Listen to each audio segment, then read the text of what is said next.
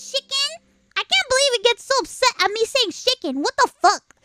Why does he not under? Did you did, do you guys remember when he was like he was like saying, "Oh, English is you're a native English speaker. What part of English is not my first language do you not understand? That doesn't mean I'm an English native speaker. If I say English is not my first language, I'm not a native speaker of English. I'm a native speaker of Spanish. I learned English in school. What the flying fuck are you not understanding?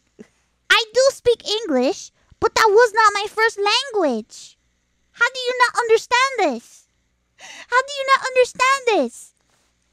My first language was Spanish. I learned English in school. The chicken crosses the road.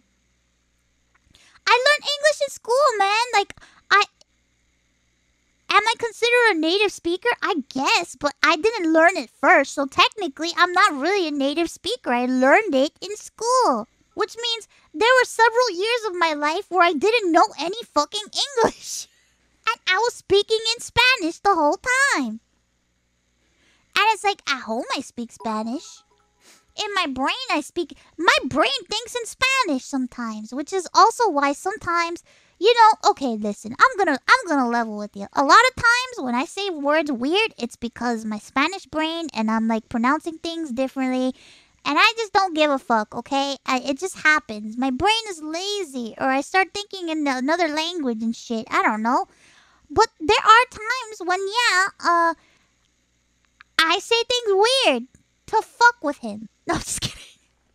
I'm just kidding. No, I I do say things weird, but here's here's my problem. Like, I normally say chicken, but if I'm thinking in Spanish, saying chicken seems unnatural to me sometimes in my brain because I'm so used to hearing my parents say chicken that to me it's chicken. And I used to say chicken. You know what I mean?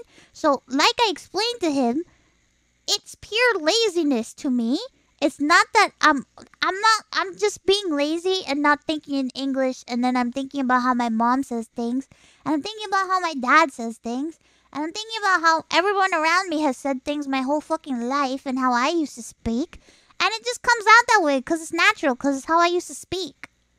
It took many years of my life to condition myself in order to lose my accent and in order to uh, sound more, you know, uh, as my cousins like to call me, you sound so American. Wow.